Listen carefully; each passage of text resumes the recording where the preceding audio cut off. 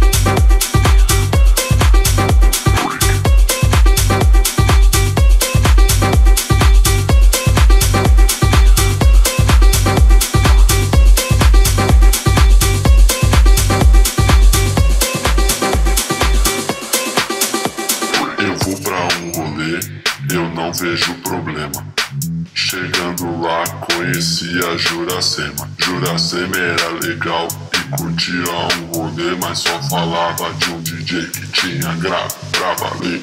Quando ele entrou, todo mundo foi pra frente. O som era tão forte que tremia até os dentes. Ela tinha razão, ninguém fica à toa. Esse DJ só toca track boa.